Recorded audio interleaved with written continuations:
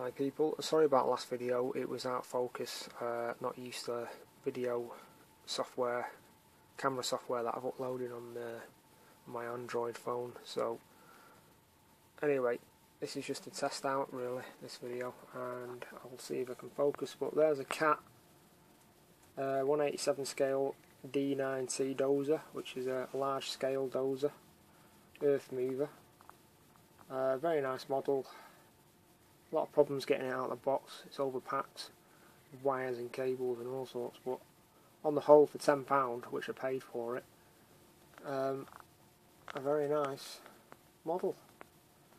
Fantastic, good detail. And the next one, of course, is the Herpa container crane.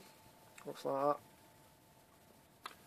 Jacks on the front work, they go up and down realistic rubber tyres, detailed cab, I need to put a driver in, uh, the wing mirrors, actually uh, I've got reflective surface so you can see reflection in there even, that's how good the detail is.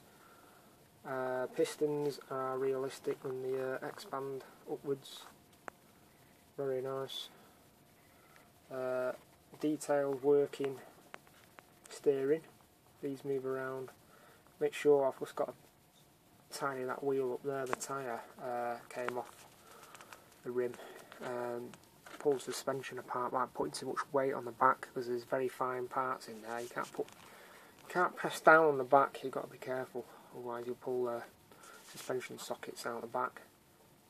So that's one thing to watch out for if you do get one of these.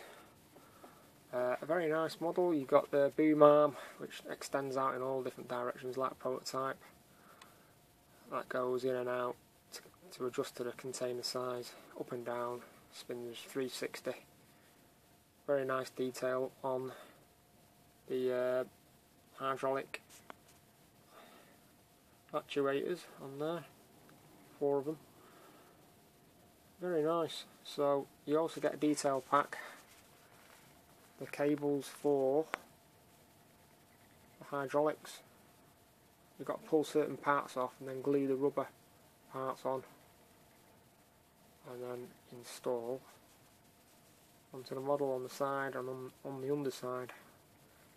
The only other thing I've got to do is put a driver in there, maybe a couple of lights. You also get instructions telling you how to do the installation of the detail pack and some metal parts there to install into containers so the magnet can pick up any container you've got. Magnets there in the centre and this is comes in two versions. This is uh, obviously the yellow it comes in red. And you can get it with the containers or without. Nice model get some pictures now